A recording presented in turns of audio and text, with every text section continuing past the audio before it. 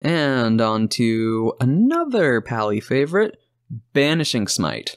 東方丈介お前はこの二重らを奥安のザ・ハンドが決意 Fifth level Abjuration. Casting time, 1 bonus action. Range of self, components verbal, duration concentration up to 1 minute.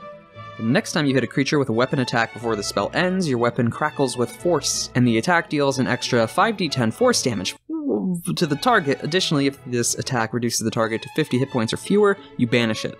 If the target is native to a different plane or existence than the one you're on, the target disappears, returning to its home plane. If the target is native to the plane you're on, the creature vanishes into an harmless demi-plane. While there, the target is incapacitated and remains there until the spell ends, at which point the target reappears in the space it left or in the nearest unoccupied space, if that space is occupied.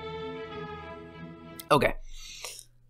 Good shit. Namely because it's it's like the regular smite, so bonus action, self, verbal, concentration of some kind, normally a minute. That goes for a lot of the smite spells we're going to be seeing. But also fifth level. This is the top thing a paladin can cast, and this is a paladin only spell. So really late game. Kind of have to put that in mind. But 5d10 force damage, that's pretty nice.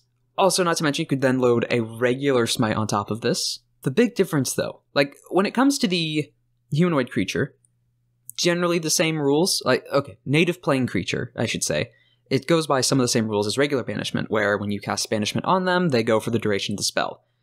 To be fair, it's not when hit. When it's this spell, it's whatever's left in the minute duration, versus just regular banishments, where it's a full minute per concentration. The big difference, the big difference is in the enemies that aren't on their native plane.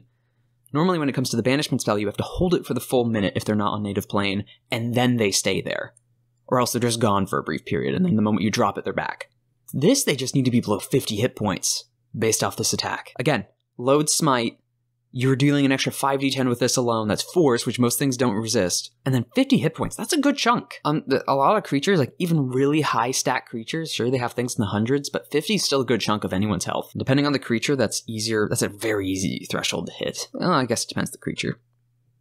Honestly, have to say, due to some of the differences, the hit point cap alongside the damage to reach that cap, instead of things like just power word kill, which you need to kind of guess if they're already at 100, this is it might knock them over that 50 as well if they're not already at it. Also, just might kill them. It's good. Uh, it's 7 out of 10. The only thing that's really against it is the level when you get it. But 7 out of 10.